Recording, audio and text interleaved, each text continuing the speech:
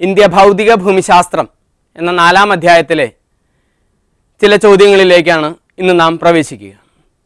ഇന്ത്യയുടെ സമഗ്രമായ ചിത്രം നൽകുന്ന വൈവിധ്യത്തി വൈവിധ്യത്തിന്റെ സമഗ്രമായ ചിത്രം നൽകുന്ന ഈ അധ്യായത്തിലെ ആദ്യത്തെ ചോദ്യം തന്നെ ഇന്ത്യയുടെ വിവിധ സംസ്ഥാനങ്ങളിൽ ജനജീവിതത്തിലും സംസ്കാരത്തിലും പ്രാദേശികമായ നിരവധി വൈവിധ്യങ്ങൾ കാണുന്നു. ഭൗതിക സവിശേഷതകളുടെ അടിസ്ഥാനത്തിൽ വിശകലനം ചെയ്യുക എന്നതാകട്ടെ.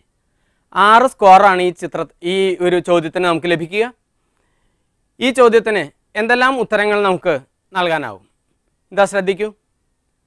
ഓരോ സംസ്ഥാനത്തിന്റെയും സ്ഥാനം ആ സ്ഥാനത്തിനനുസരിച്ച് അവിടെ ലഭ്യമാകുന്ന താപനില താപനിലയിലുണ്ടാകുന്ന വ്യത്യാസം അതനുസരിച്ച് സൂര്യപ്രകാശത്തിന്റെ ലഭ്യത ഇന്ത്യയുടെ വൈവിധ്യമാർന്ന ഭൂപ്രകൃതി ഇന്ത്യയുടെ പർവതപ്രദേശങ്ങൾ മരുപ്രദേശങ്ങൾ താഴ്വരകൾ സമതലം ഇന്ത്യയുടെ നദികൾ അവിടെ ജലലഭ്യത ഇന്ത്യയുടെ സസ്യജാലങ്ങൾ വനങ്ങൾ കാലാവസ്ഥ ഉഷ്ണം ശൈത്യം മഴ മണ്ണിനങ്ങൾ തുടങ്ങി ഇന്ത്യയുടെ വൈവിധ്യങ്ങളെ പൂർണമായും ഉൾക്കൊള്ളുന്ന എല്ലാ ഭാഗങ്ങളും ചെറിയ കുറിപ്പുകളായി നാം രേഖപ്പെടുത്തുകയാണെങ്കിൽ നമുക്ക് ആറ് സ്കോറും നേടാൻ സാധിക്കും.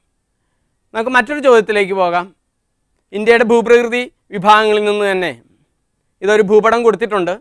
ഈ ഭൂപടത്തിൽ നിന്ന് കണ്ടെത്തി ഓരോ വിഭാഗത്തിന്റെയും രണ്ട് സവിശേഷതകൾ വീതം രേഖപ്പെടുത്തുക എന്നതായിരിക്കട്ടെ അടുത്ത ചോദ്യം. അഞ്ച് സ്കോറാണ് ഇതിന് ലഭിക്കുക. ഈ ചോദ്യത്തിൽ പുസ്തകത്തിൽ തന്നെയുള്ള ചിത്രമാണ് ഈ കാണിച്ചിരിക്കുന്നത്. ഇത് തന്നെയായിരിക്കും ഒരുപക്ഷെ പരീക്ഷയ്ക്ക് നമുക്ക് ലഭിക്കുക. ഇന്ത്യയുടെ വിവിധമായ ഭൂപ്രകൃതി വിഭാഗങ്ങളെക്കുറിച്ച് നമ്മൾ വളരെ ഭംഗിയായി പഠിച്ചിട്ടുണ്ട്. ആർക്കും ഉത്തരം എഴുതാവുന്ന രീതിയിലുള്ള ഒരു ചോദ്യമാണത്. വിഭിന്ന നിലവാരക്കാരെ പ്രതീക്ഷിച്ചുകൊണ്ട് നൽകിയിരിക്കുന്ന ഒരു ചോദ്യമാണ്. ഉത്തരപർവത മേഖല ഉത്തര മഹാസമതലം ഉപദ്വീപീയ പീഠഭൂമി തീരപ്രദേശങ്ങൾ തുടങ്ങിയവ ടെക്സ്റ്റ് ബുക്കിൽ പാഠപുസ്തകത്തിൽ വളരെ വിശദമായി തന്നെ കൈകാര്യം ചെയ്തിട്ടുണ്ട്. ഇത് ഓരോന്നിനെക്കുറിച്ചും രണ്ട് സവിശേഷതകൾ കൂടി എഴുതിയാൽ പൂർണമായ സ്കോർ ലഭിക്കാൻ സാധിക്കും. തുടർന്ന് വരുന്ന ചോദ്യങ്ങളുടെ ഉത്തരങ്ങൾക്കും നമുക്ക് ഈ സവിശേഷതകളും കൂടി ലഭിക്കും. ഏതെങ്കിലും വളരെയേറെ സവിശേഷതകളുള്ള ഉത്തരപർവത മേഖല ഉത്തരമഹാസമതലം ഉപദ്വീപീയ പീഠഭൂമി തീരപ്രദേശങ്ങളെല്ലാറ്റിനും വളരെയേറെ സവിശേഷതകളുണ്ട്. ഈ സവിശേഷതകളെല്ലാം തന്നെ രണ്ടെണ്ണം മാത്രം എഴുതിയാൽ മതി നമുക്കിതിന്റെ പൂർണമായ സ്കോറും ലഭിക്കും. അടുത്ത ചോദ്യത്തിലേക്ക് നാം ഒന്ന് പ്രവേശിക്കുകയാണ്. ഉത്തരപർവത മേഖല ഇന്ത്യൻ ജനജീവിതത്തെയും സംസ്കാരത്തെയും സ്വാധീനിക്കുന്നു. വിശകലനം ചെയ്യുക.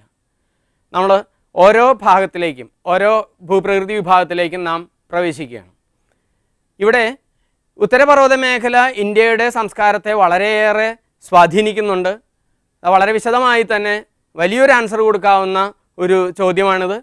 ഇതിന് ആറ് സ്കോറുണ്ട് ഈ ആറ് സ്കോർ നേടിയെടുക്കാനായിട്ട് ഏതൊരു വിദ്യാർത്ഥിക്കും സാധിക്കും? വളരെ എളുപ്പത്തിൽ പഠിക്കാവുന്ന എളുപ്പത്തിൽ എഴുതാവുന്ന ഒരു ഉത്തരം കൂടിയാണിത്. ഇതാ നോക്കൂ. ഹിമാലയ പർവതം ഏഷ്യയുടെ ഇതര ഭാഗങ്ങളിൽ നിന്ന് ഇന്ത്യയെ വേർതിരിക്കുന്നു. വിദേശീയ കടന്നുകയറ്റങ്ങളിൽ നിന്ന് നമ്മുടെ മാതൃരാജ്യത്തെ രക്ഷിക്കുന്നു. ഉത്തര ഏഷ്യൻ ഭാഗങ്ങളിൽ നിന്ന് വീശുന്ന കാറ്റുകളെ ശീതക്കാറ്റിനെ പ്രത്യേകിച്ച് തടയുന്നു. മൺസൂൺ കാറ്റുകളെ ഇന്ത്യ ഇന്ത്യ മഹാസമുദ്രത്തിൽ നിന്ന് വീശുന്ന മൺസൂൺ കാറ്റുകളെ തടഞ്ഞു നിർത്തി ഇന്ത്യയിലെമ്പാടും മഴ നൽകുന്നു. ഉത്തരപർവത മേഖലയിൽ നിന്ന് ധാരാളം നദികൾ ഉത്ഭവിക്കുന്നുണ്ട്. ഈ നദികൾ നിക്ഷേപിക്കുന്ന എക്കൽ ഇന്ത്യ ഉത്തര മഹാസമതലത്തിലും മറ്റെല്ലാ ഭാഗങ്ങളിലും കൃഷിക്ക് അനുയോജ്യമായ രൂപകൽപ്പനകൾ നൽകുന്നു. വേനലും വർഷക്കാലത്തും മഴ ലഭിക്കുന്ന നദികൾ ധാരാളമുണ്ട് അവിടെ. കാരണം വേനൽക്കാലത്ത് മഞ്ഞുരുകിയും വർഷക്കാലത്ത് മഴ പെയ്തും ധാരാളം ജലം ലഭ്യമാകുന്ന നദികൾ ഈ ഉത്തരപർവത മേഖലയിൽ നിന്ന് ഉത്ഭവിക്കുന്നുണ്ട്.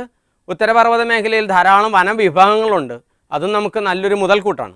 പ്രകൃതി രമണീയമായ ധാരാളം സുഖസഞ്ചാര കേന്ദ്ര സുഖവാസ കേന്ദ്രങ്ങൾ വിനോദസഞ്ചാര കേന്ദ്രങ്ങളുള്ള സ്ഥലമാണ് ഈ ഉത്തരപർവത മേഖല. ഇതിൽ ഏതെങ്കിലും ആറ് ആറ് സൂചികകൾ രേഖപ്പെടുത്തിയാൽ നമുക്ക് ആറ് സ്കോർ കിട്ടുന്നതിന് യാതൊരു ബുദ്ധിമുട്ടും ഉണ്ടാവില്ലെന്നാണ് എനിക്ക് തോന്നുന്നത്. അടുത്തത് നമ്മൾ ഹിമാലയൻ നദികളുടെ ഉപദ്വീപീയ നദികളുടെയും സവിശേഷതകൾ താരതമ്യം ചെയ്യുക എന്നതാണ് അടുത്ത ചോദ്യമായിട്ട് കൊടുത്തിരിക്കുന്നത്.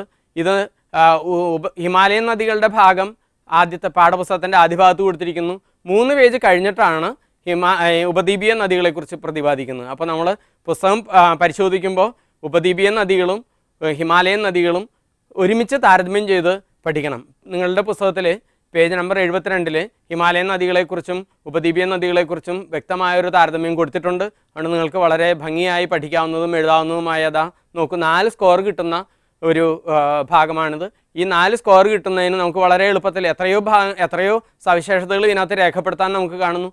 ഈ സവിശേഷതകൾ നാലെണ്ണം രേഖപ്പെടുത്തിയാൽ നിങ്ങൾക്ക് നാല് സ്കോർ കിട്ടാം. അല്ലെങ്കിൽ എട്ടെണ്ണം രേഖപ്പെടുത്തിയാൽ നാല് സ്കോർ കിട്ടാനുള്ള സാധ്യതകളുണ്ട്. ഹിമാലയൻ നദികൾ അതിവിസ്തൃതമായ വൃഷ്ടിപ്രദേശമുണ്ട്. ഹിമാലയ പ്രദേശം മുഴുവൻ നിറഞ്ഞു അല്ലെങ്കിൽ മഴ പെയ്തും മഞ്ഞുരുകിയും ഒഴുകി വരുന്ന നദി ധാരാളം ജലം ഇന്ത്യയിലേക്ക് കൊണ്ടുവരുന്നുണ്ട്. അതുപോലെ മഴക്കാലത്ത് മഴയിൽ നിന്നും വേനൽക്കാലത്ത് മഞ്ഞുരുകിയും ജലം ലഭിക്കുന്നുണ്ട്. അപരതന തീവ്രത കൂടുതലാണ്. കാരണം മണ്ണൊലിപ്പ് ധാരാളമായി സഞ്ച ഉണ്ട്. ഈ അത് അവസാദ പാളികളുള്ള ശിലകളുടെ ഭാഗങ്ങളിലൂടെയാണ് ഇത് ഒഴുകുന്നത്. അതുകൊണ്ട് കാർന്നെടുക്കൽ നിങ്ങൾ ഒമ്പതാം ക്ലാസ്സിൽ പഠിച്ചിട്ടുള്ള ഒരു വാക്കാണ് കാർന്നെടുക്കൽ.